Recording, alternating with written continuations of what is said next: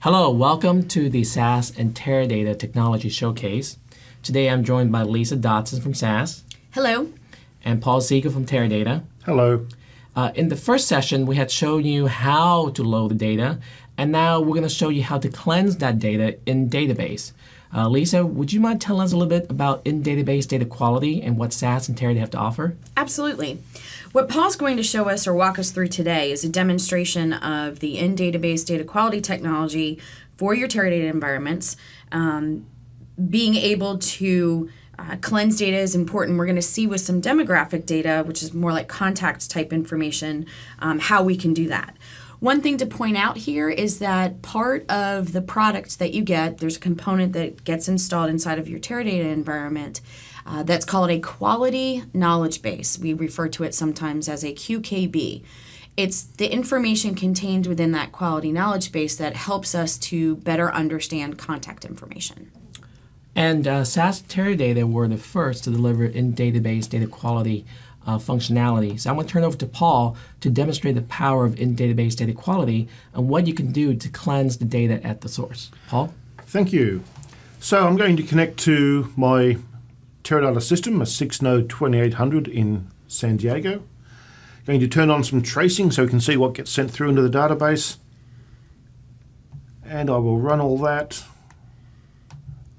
And then we'll get down into the data quality stuff. But before we start looking at the data quality accelerator, I'll give you a quick peek at the data. So we have a million rows and a sample of the data so you can see exactly what we're looking at. Looks like this. So we have customer identifier, a title, full name, street address, city, state, zip code, country, email address, phone number, and a whole bunch of other stuff. A couple of things to point out here. Notice the dates are in SAS format, even though they came from Teradata. And straight off the bat, we can see that there's some problems with the state. A lot of them have the typical two letter abbreviation, but here we have California spelt out. Here we have Arizona spelt out. New Jersey and New York are spelt out. So we've got some quality issues. And if we look through the data here, we don't have any indication of gender.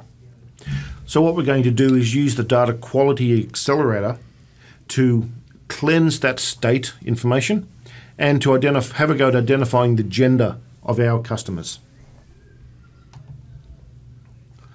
So we'll start off with doing the gender.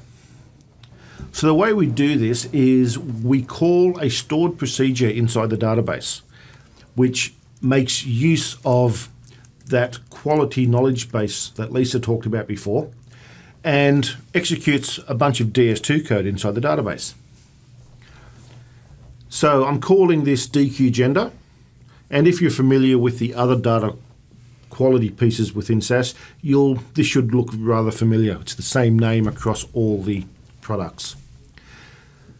So I'm telling it to do the name, passing in the data in this particular database object. It's a view called customer in the name data database. I'm passing through the full name, so that's what it's going to use to identify the gender.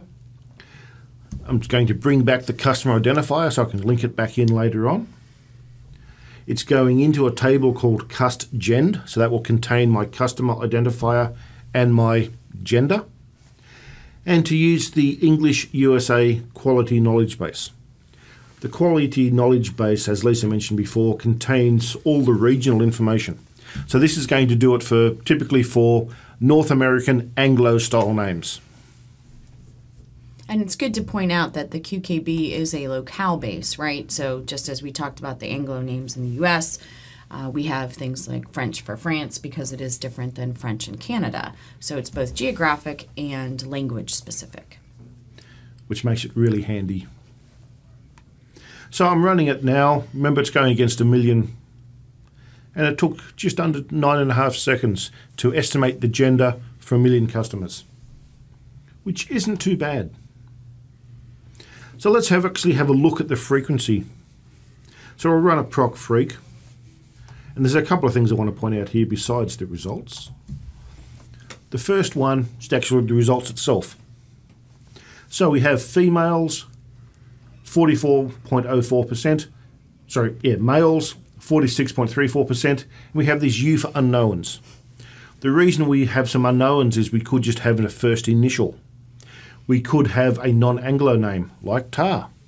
We could have a one of those gender neutral names like Lindsay or Kim. That can be very difficult.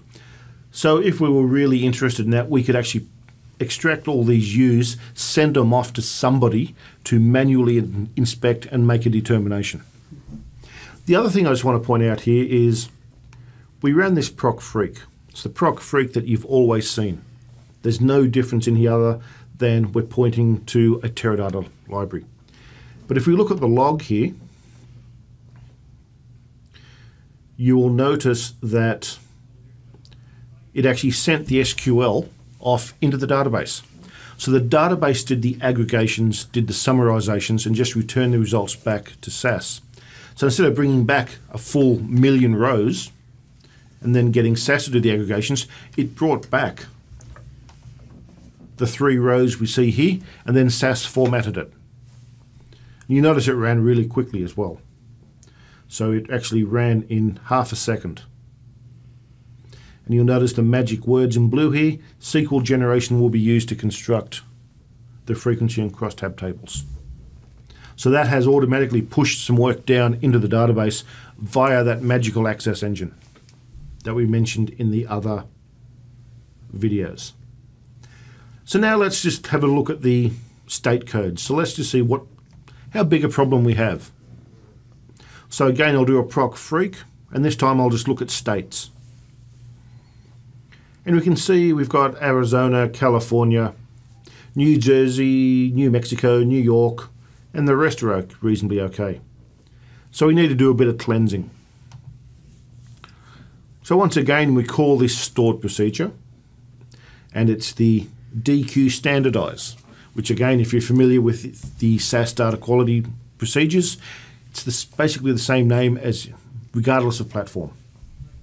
We're telling it we want the state province abbreviation, where the data is coming from, what the column we are interested in standardizing is, again, the customer identifier, the unique identifier. It's going into a table called cust state standard, STD. I think it's good to point out here where you show the state province abbreviation, we call that a definition, a standardization definition.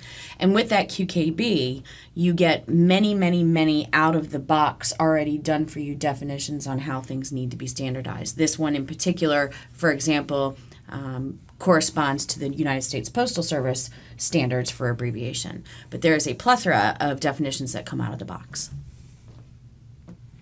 And again, using the English USA quality knowledge base. So I'll run this. And again, it's going through those million records, standardizing, writing it out to another table, and it's done. Five and a half seconds exactly to standardize a million records. So let's go and have a look at the results.